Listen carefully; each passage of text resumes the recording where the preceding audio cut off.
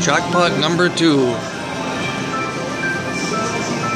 Yeah, over $1,500 today.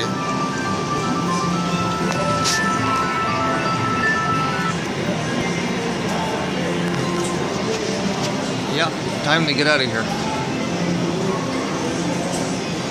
Let's see, uh, 794